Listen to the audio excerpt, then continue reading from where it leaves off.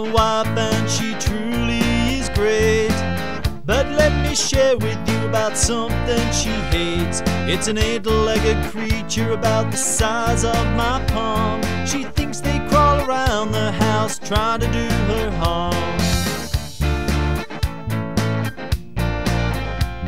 Now it's definitely a phobia that a lot of people share. Getting spooked by a huntsman, they'll need some undespair. These shy and quiet creatures are only loitering for food. I think they have it rough when my wife screams something crude.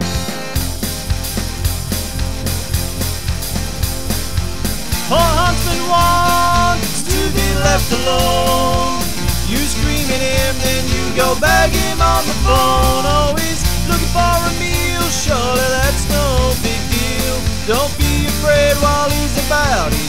Only dining out.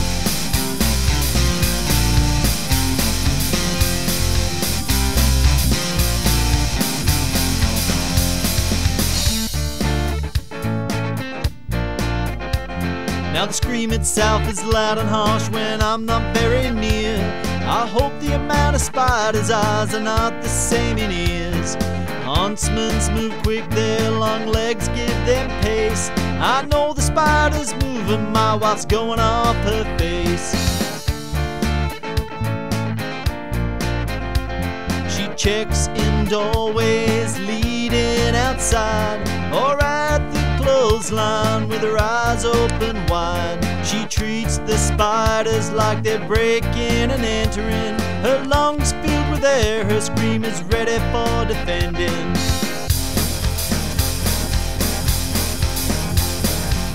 Poor huntsman wants to be left alone.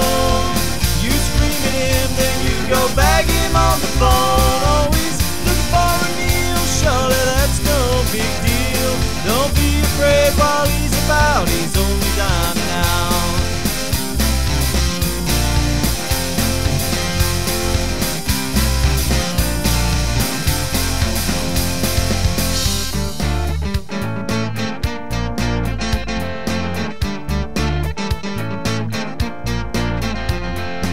Outside is one thing, but being inside's another. It's a whole new level of scream I've come to discover. I would never hurt a huntsman, that would be a crime. I'd move them gently, they let me every time.